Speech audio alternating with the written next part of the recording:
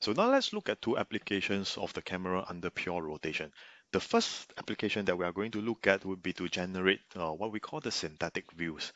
Suppose that we are given a source image of a corridor, and we know that this uh, corridor contains of multiple planes. For example, the floor plane that we can see over here. So what we the objective of generating synthetic view would be to map this particular source image into a target image, where the plane of interest, for example, this ground plane over here would become uh, frontal parallel to the target image plane. And we know that since the world uh, scene that we are interested in, it consists of a plane, and this plane is being projected onto the image, and we have seen that uh, the projection is equivalent to a homography. That means that the warping of this can be done with a planar homography H, which is equivalent to pure rotation. Similarly, we can uh, select another plane of interest, for example, this wall plane over here. We can select this wall plane over here and then map it and warp it such that this wall plane becomes frontal parallel to the target image under uh, another homography, which is equivalent to a pure rotation as we have what we have seen earlier on. Let's look at the algorithm to achieve this. The first step of this algorithm is simply to compute, uh, given a source image, suppose that this is my source image and uh, this is my target image that I want to unwarp. So given a source image, I would have to first identify the quadrilateral shape of the plane in this particular source image. And from here, I will be able to identify the four vertices of this uh, quadrilateral uh, shape that is in the source image. And the objective here is that I want to find the homography such that I can map this particular uh, quadrilateral uh, shape from the source image into a perfect rectangle of a certain predefined aspect ratio. So this means that I need to define the aspect ratio, the desired aspect ratio uh, of this warping. We can see that we have four point correspondences from the source image with the target uh, image. And this is related by a homography. And we have seen in lecture earlier on in lecture 3 that every point uh, let's call the target one point here on the target image as x prime and the source image uh, the corresponding point as x we have seen that x prime is essentially equals to h multiplied by x. And uh, with four such correspondences we can solve for h using the linear method that we have seen in lecture 3 uh, once we have computed the h, what we can do here is that uh, since we have the source image and we want to warp it into the target image, we know that the relation between this is a homography. Just now we denote this as x and x prime, every pixel here, and every pixel here as x. So we know that uh, pretty much x prime equals to h uh, multiplied by x. And what we can do, uh, since h is already computed in the first step over here, what we can do to transform every pixel from the source image to get the target image will be simply co to compute the lookup table by simply doing this transformation here, inverse of x prime. So uh, every pixel here, I have the pixel coordinate. I can simply input it into x prime, and then with the known h uh, homography, I can compute the corresponding location in the source image. And by doing this, I will be able to look out for the corresponding RGB value in the source image and fill it up uh, in the target image. And hence, I'll be able to uh, warp the source image into the target image uh, as given by the homography.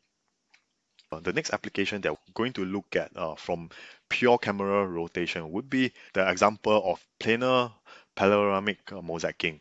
Suppose that we are given several images that is taken by a camera that undergoes pure rotation. So it's only going undergoing pure rotation, and we know that uh, earlier on from uh, what we have seen that these images, every point correspondences of these images, uh, any pair of these images, they are actually related by a homography. So suppose that this point and this point, because of a fixed camera center, and it only under the images only undergoes uh, pure rotation. These two points, suppose I call this x prime and x over here. So these two point x prime is, is in fact equals to h multiplied by x, which is a planar homography. And we'll see how from these three images that I have taken of the scene, I can create a panoramic image that means that I'm going to stitch these three images out to create a panoramic view of the scene. And here's an example. Suppose that I give you altogether eight images that is taken under pure rotation. I'll be able to uh, make one of the image, for example, uh, say this, this, this particular image here as my reference image. So if this is my uh, reference image, I can pretty much compute the homography of every other image with respect to this image and make use of this image as a reference frame and simply warp all the other images uh, into the reference frame to get the panoramic uh, image that looks like this. So let's see how this can be done. As I, as I have mentioned earlier on, we can choose any one of the images. Suppose that we are given uh, five images, for example. So I1, I2, I3, I4, as well as I5. Suppose that I choose I3 as my reference image. What I can do here is that I can detect four point correspondences uh, from I2 and to I3, and then I can compute the homography that brings me from uh, 2 to 3, for example. I'll be able to projectively warp this image 2 into the reference frame, I can actually create a larger image. But I'm going to fix this, the reference of I3 in the as the reference frame on this particular image. After I uh, compute the homography to warp I2 into the reference frame of I3, I'll be able to check for every pixel here, for example, because this undergoes rotation. So uh, it will be the, the image the image seen that is seen in this image would be outside the field of view of I3. So, but what I can do here is that I can actually compute every pixel here via H2, the homography of uh, H2 to H3, and then uh, I will be able to look up uh, from every pixel here. Suppose I call this pixel here uh, H prime, and I know, let's say H prime is related to x, uh, so suppose that x prime is related to h and x via this relation here we, that we have seen. Let's say the points on I2 is denoted by x, and the warping of I2 onto the reference frame is denoted by x prime. For every pixel of x prime over here, I'll be able to compute the corresponding uh, location on x on image 2, and then I'll be able to create a lookup table to look up every RGB value here to fill in to this reference frame. So I can do this pretty much for all the images. Let's say in this case here, I'm going to compute H4 uh, that is relating uh, H4 and H3 uh, and then do the same step and warp the, all the pixels on I4 onto the reference image that is shown here. For images that are further away from I3, for example, I5, if there is still an overlapping field of view. I can pretty much take four point correspondence and compute the homography from 5 to 3. But what if in, in, in the case where uh, in the case where this direct correspondence from I3 to I5 is not possible? Uh, this means that the, they do not share overlapping field of view anymore. You can just imagine that you are rotating the camera and i3 might be looking in front of the camera but i5 might be looking at the side of the camera where the views in the two images might not share any overlapping scene. So in this particular case the computation of uh, h the homography that relates the fifth image to the third image would not be possible anymore. But what we can do here is that we can simply compute the homography using any four point correspondence between image 4 and 5. This will be bringing an image point from the fifth image onto the fourth image. And then uh, by once I have this uh, homography that is being computed, I can easily compute uh, since homography is a linear mapping. Uh, so what this means is that the linear relation exists. So this means that uh, I can easily compute uh, the homography of 5 to 3 and th that this this would be equals to simply the homography of 4 to 3 multiplied by the homography of 5 to 4. So this linear relation uh, works here. And what it simply means is that if I have a point uh, in image 5 uh, that I call x prime, for example, and a image point that is an I3 x, the image point in x, uh, which is uh, in I3, would be simply given by the homography that brings the point x prime to in image 5 to x3 and this can be simply uh, written in the linear chain of transformation which is uh, given by this computation over here. And we simply have to do this for every pair of images that is referencing to i3 uh, for example i2 to i3 uh, i1 to i3 and i4 to i3 and i5 to i3 so once we have the, all computed all the homographies that relates every other image to the reference image we can pretty much compute the lookup table and such that we can map every pixel from other images onto the reference frame uh, in order to get this particular panoramic uh, image over here. Now, let's move on to look at what does the knowledge of a camera uh, calibration uh, gives us. So what this means is that what is, this is simply referring to the intrinsic value, the knowledge of the intrinsic value, which we have saw that this 3 by 3 uh, K matrix. So if this is known, there are several things that, that can be deduced directly from uh, this known uh, intrinsic value and on the points, image points that is uh, identified on a single image. So suppose that we denote, let us, let us denote the points on the array that is given by this inhomogeneous coordinate of a, a 3D point. So suppose that this is my 3D point and uh, this is the camera center. So this is the light ray that intersects the image plane on this 3D point. Suppose that I denote the direction of this light ray as uh, lambda d or uh, the what this simply means is that this is the inhomogeneous coordinate of this uh, uh, this so this is equals to x y z and 1 so what i'm doing here is that i'm taking the first three value and denoting denoting it as a vector uh, of d and uh, assigning it uh, with lambda. This simply means that I turn this into a whole family of points that is lying on this light ray so now let's denote this uh, light ray uh, whole family of points that's lying on the light ray as x tilde and we know that from what we have seen earlier on that this uh, the, this whole family of points, they are all going to be projected onto the image at this particular point, which we call small x. And this is simply given by uh, the equation that we have looked at many times. Uh, equals to the projection matrix multiplied by the 3D point x, and which can be rewritten as uh, into the intrinsics and extrinsics. So here, the extrinsics is identity. This means that uh, we are treating the camera at a canonical uh, location where the camera coordinate aligns with the uh, world frame.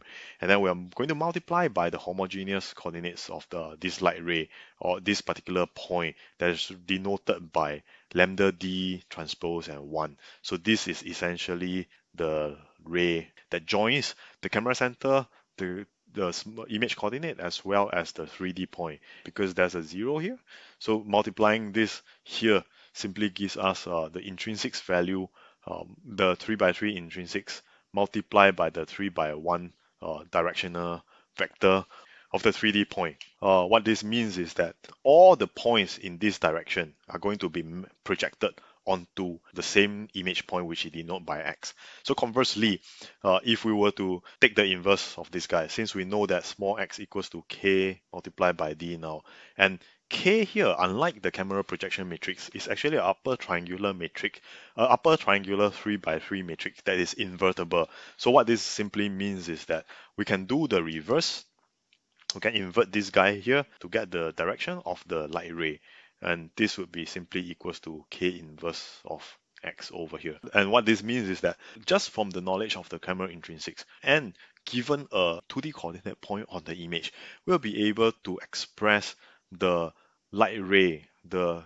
mathematical equation of the light ray, as well as we'll also be able to say for example the converse uh, so we we if we know the direction of this guy we'll also be able to find the projection onto the particular uh, image point a further application of this is we can actually use this knowledge to find the true angle between two uh, points in the world as illustrated here. So suppose that in the real world that I have a point which I call x1 and I have another point which I call x2 over here. And what I want to do here is that given a camera, I want to find the angle that is defined by the light ray that joins x1 to C and light ray that joins x2 to C. And we know that we can actually observe these two 3D points on the image, which we denote by small x1 and small x2. So from what we have seen earlier on, that the direction D1 is simply given by the inverse of the camera multiplied by x1 and the direction of D2 is simply given also by the inverse of the camera intrinsics multiplied by x2 over here. The angle would be simply the dot product between the two directional uh, vector which is given by this guy over here. What we have here it would be d1 uh, transpose d2 which is the dot product and this is simply equals to the magnitude of d1 multiplied by the magnitude of d2 multiplied by the cosine of the angle between the two light ray. And this by moving the magnitude across we can see that the cosine of the angle is simply given by the dot product of the two directions divided by the magnitude of the two directions which is given by this guy over here. If we were to substitute the direction vector that we have found earlier on with respect to the camera intrinsics and the image point yeah, back into this particular uh, cosine uh, relation over here, this essentially gives us this particular uh, equation over here in terms of the image point and the uh, camera intrinsics. And we can further simplify this expression into uh, this particular expression here. What is this simply means is that if a camera is calibrated, we can actually use it to measure the angle between uh, any two corresponding image points point and this is equivalent to the angle between any two 3D points in the real scene uh, as what we have seen earlier on. So as a result, we can also think of it this way that a calibrated camera is actually a directional sensor it acts like a 2D protractor that allows us to measure uh, the angle between any two points, x1 and x2. We can also further uh, use the knowledge of the unknown camera metric to define the normal direction of a plane that results from a back projection of a 2D line. The normal direction of this plane is simply given by the transpose of the camera intrinsics multiplied by L. And uh, let's look at the proof on why is this true. Suppose that we have a point uh, on uh, that we call X on the 2D line over here. And we know that this particular point, it backs projects to uh, a light ray, which is given by this guy over here from the equation that we have seen earlier on using the known camera intrinsic value. And we also know that this particular uh, direction is going to be orthogonal to the normal, the back projected uh, plane of the line. And we know that this normal vector is orthogonal to this particular uh, plane that is created by the back projection of the line. And what it simply also means is that the ray D over here is going to be orthogonal to this particular normal direction. And hence, the dot product of the light ray and the normal direction of the plane that is created by the back projection of the line, it's going to be equals to zero. So we can substitute this guy over here uh, in terms of the intrinsic value back into this dot product defined earlier on. And this is essentially the equation uh, that we get. Due to, due to a point and uh, line relation, we can also see that uh, here it simply means that x here is lying on a line which is L that is defined by K inverse transpose uh, N. and That's why the line equation can be re rewritten as uh, k inverse transpose of n. Whether we can see further that the normal direction here is simply by bringing this k over to the left hand side and uh, that would be equal to k transpose of L which is what we have uh, claimed earlier on and this shows the proof. So another thing that we can obtain from uh, a known camera intrinsic value is what we call the image of an absolute conics. On a plane at infinity, there's a conic and this particular conic is called the absolute conic. So by knowing the camera intrinsic value, what we're claiming here now is that we'll be able to define the projection, the absolute conics onto the image plane, which we call the image of absolute conics. That is, we'll see that it's denoted by omega over here. Now let's look at why is this uh, true. Suppose that we denote this plane at infinity with pi uh, infinity and all the points, uh, it can be written as uh, consisting of a set of points, a set of infinite point, ideal points that is lying on this plane that we denote by x infinity over here. And this is simply a collection of all the direction vector on the plane at infinity. So the last coordinate over here must be zero. And now suppose that this set of uh, ideal points that's lying on the plane at infinity, it's being uh, imaged onto a image uh, using a general camera uh, P over here, which is denoted by uh, KR and multiplied by I uh, minus C tilde. So this is the intrinsics and this is the extrinsics of the camera. It's a general camera because the extrinsics value here is no longer identity. So suppose we apply this particular uh, projection matrix onto the set of infinite points that lies on the plane at infinity.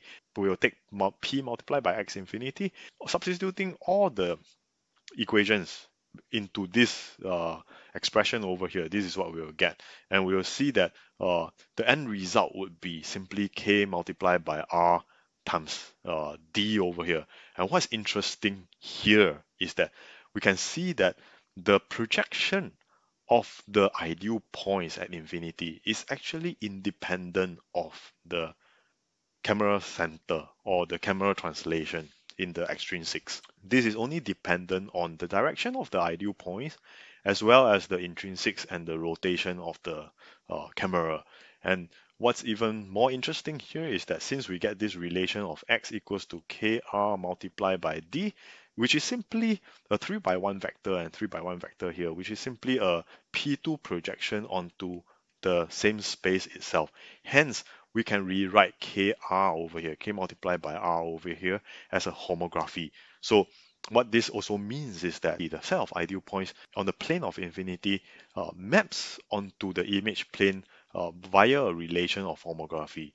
So this shouldn't comes as a surprise uh, result because we all know that homography is a general relation that relates to planes. So since x infinity are all the points that lies on the plane at infinity and this is a plane. And uh, what this uh, and what we are going to do is that we're going to map these points at infinity uh, onto an image plane which is also a plane.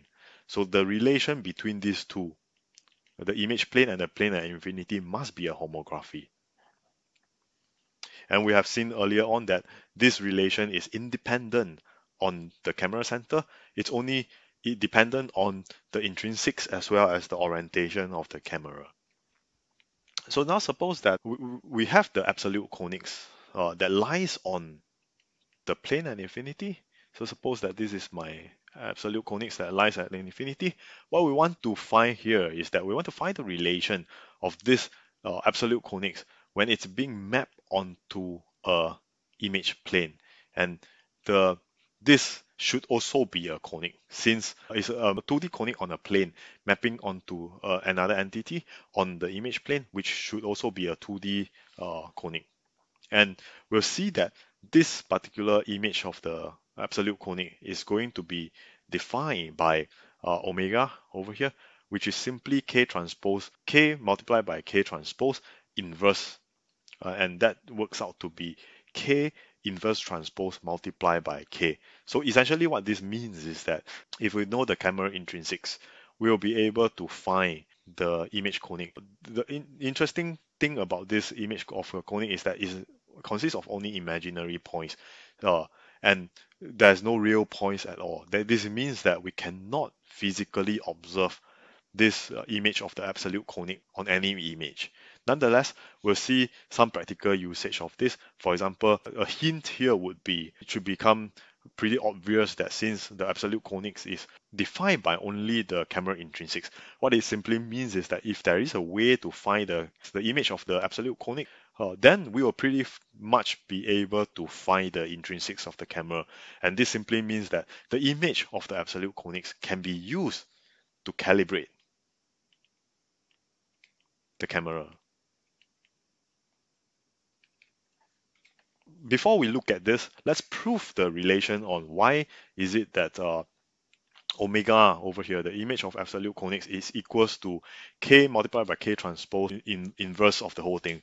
So uh, we know that under point homography, or oh, there's a missing prime over here, under the point homography on one image x here, it's going to be mapped onto another image, uh, which we denote by x prime via a homography, and that relation is given by x, hx equals to x prime, which is seen in this equation over here, if this particular relation that maps the uh, x into x prime via homography holds true, then a conic on the image or conic on the image is also going to map onto a conic on the other image via this particular uh, relation over here. So I'm not going to prove this particular relation because we have seen it earlier on in uh, lecture 1. Please refer to lecture 1 for the proof. What it simply means is if I have a conics on the plane at infinity, and this conic is none other than the absolute conic, which is denoted by omega infinity. It lies on the plane at infinity. Then uh, I also know that this particular conic has a equation is defined by just identity, and this is what we have seen uh, earlier on in the previous lecture, then this particular conic is also going to be mapped onto the image plane via the same kind of relation. And since we know that the absolute conic here is equals to identity, and we also know that the homography that relates these two plane is simply given by k r that we have defined earlier on, we can substitute this expression into the transformation of the conics that we have seen earlier on. So essentially, this is my H inverse, and this guy here is equivalent to my C, and this guy here is equivalent to H inverse. So if I multiply this, I'll be able to get the mapping of the absolute conic onto the image of the absolute conic on that on that particular image, which I denote as omega over here. So since this is identity, the conic, absolute conic is equals to identity, we can further simplify this expression into this expression over here, where we see that R multiplied by R inverse cancels out to be identity. So what we are left with is simply this equation here, which is equals to the image of uh, the absolute conics that we have seen earlier on. So a few remarks here on the image of absolute conics is that it actually it only depends on the internal the intrinsic parameter k of the camera matrix and it does not depend on the camera orientation or position. So we'll see later that we can actually make use of the, the knowledge of w or omega over here to calibrate the camera to find the unknown uh, intrinsic value and the second remarks that we can make about the absolute image of the absolute conic is that the angle between two rays that we have seen earlier on can also be expressed with respect to the image of the absolute uh, conics uh, in, in this particular equation over here. We also see that this relation it simply remains unchanged under projective transformation. So this is also true uh, because if I have uh, the, the direction, so what this simply means is I'm going to project this direction, which I denote as D1 and D2 over here. So these uh, are going to intersect on the plane, on the image plane as X1. and x2. So previously what we have seen is that uh, we have seen that d1 transpose d2 is, uh, I'm only looking at the numerator. So d1 transpose d2 is going to be equal to the, the numerator, which is what we have seen earlier on here because this is the direction. So d we, we've seen that d1 is equals to the inverse of k multiplied by x1 and we can substitute this into this expression which further simplify into this expression over here. The, the proof uh, that is that we can see that this term over here now since we have defined the image of absolute conic is indeed equals to omega and hence uh, we will have this particular relation over here. So we can further prove that uh, this expression remains unchanged under projective uh, transformation of an image. Let's denote this by h, for example. So uh, let's just look at the numerator term of this. The denominator will follow the same proof. So uh, starting from x1 transpose omega x2. So under any general projective transformation of x prime that transform a point x into x prime, which we denote by h over here, we can see that uh, this guy here it's my x prime and this guy here is my omega prime after transformation. And uh, this guy here is my x2 prime. Sorry this should be x1 prime. And since x1 prime is given by h uh, multiplied by x1 prime so the transpose of this guy x1 transpose will simply become x1 transpose multiplied by h transpose. And then uh, we know we have seen earlier on that the uh, uh, conics under when it undergone a projective transformation is simply given by h transpose inverse multiplied by the conic and multiplied by h inverse. And then uh, similarly for x2, uh, this would directly follow the projective transformation that we have uh, seen here. And uh, we can see that all this homography, all this h over here, the projective transformation actually cancels off. And uh, it will still give us the original uh, equation. And hence this shows that the angle between any two rays that is defined by the image of absolute conics is invariant to any form of projective transformation. A third remark that can be made on the image of the absolute conic is directly obtained from the result of remark 2 that we have seen earlier on.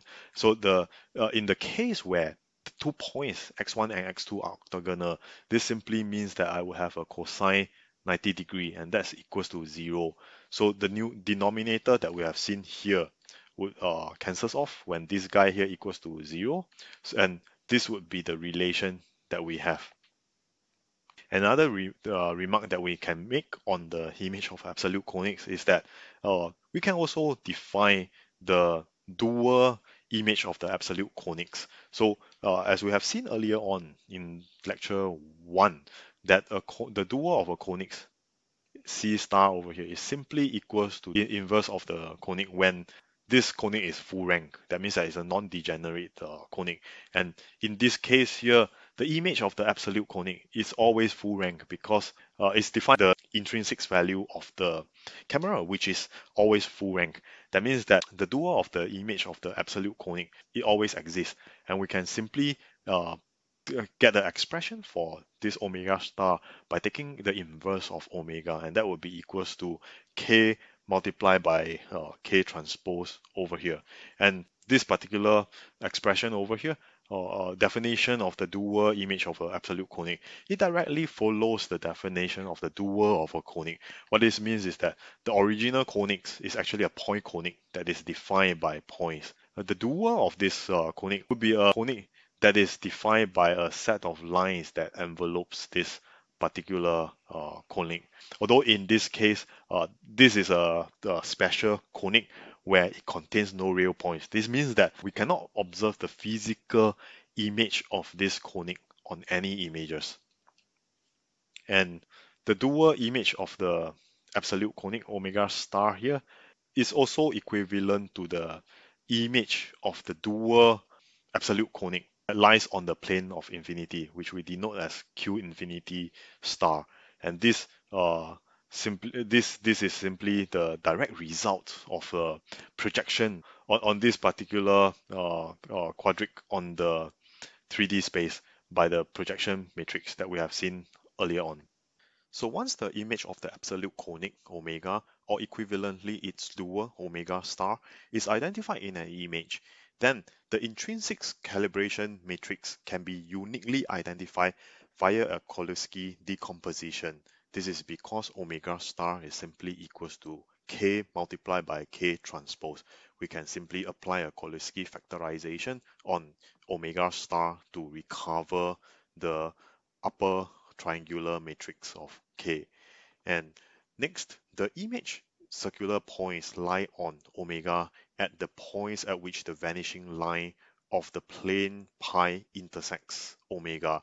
This is because uh, at the plane at infinity, uh, we have this uh, absolute conics, which we denote as uh, omega infinity here, and this plane over here is pi infinity.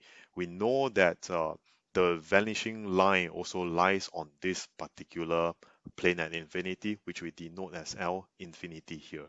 And these two points here are the circular point where the uh, intersection of the line at infinity and the absolute conics happens. And the projection of the absolute conics onto the image is denoted by omega and uh, the vanishing line uh, would also be projected onto the image as the finite vanishing line here. So uh, it's important to note that uh, although we can observe the projection of the infinite line on the image, we cannot observe the projection of the absolute conic as well as the circular points on the image. This is because these are complex numbers. The absolute conic and the circular points are complex numbers and the, its projections onto the image cannot be observed physically. But uh, mathematically, it actually exists there. So uh, we can mathematically express omega as k uh, multiplied by k transpose. And the intersection of this vanishing point with this omega over here or omega star here it's going to define the projection of the uh, image circular points. And we also further see in lecture 3 that the plane pi intersects at uh, pi infinity in a line and this is the line that intersects uh, omega infinity or the absolute conic. So this is uh, the line at infinity and the back projection of this or the projection of this onto the image is actually a plane and this particular plane we can take it as that this particular plane pi intersects the plane at infinity at the line of infinity L infinity here. Let's look at how the knowledge of the uh, image of absolute conics can be used to design a simple calibration uh, device to find the intrinsics of a camera. And it turns out that this can be pretty simple. We can easily design a calibration device by simply having three squares, uh, a shape of uh, uh three squares over here. So this is just uh, three planes where we print out the a black square and uh, paste it on the plane with a white white border. So the important thing is that we must be able to observe these four corner points on the image in order for this uh, calibration to work. By simply do, uh, having these three planes over here, we can actually use it as a calibration device to compute uh, K. Let's see how it's uh, it's done. One interesting point is that uh, there's no need for each one of this uh, plane to be in any configuration. For example, it need not be uh, uh, it need not be orthogonal, but it's important that they are not parallel. If they are placed in a parallel fashion, then we will have simply defeated the purpose because uh, when you place them on a parallel uh, plane, this simply form a one larger plane. Then you wouldn't have three, three independent uh, planes to get the required constraints anymore. But the planes here need not be in any other configuration except for we have to avoid that uh, placing it in in a parallel manner.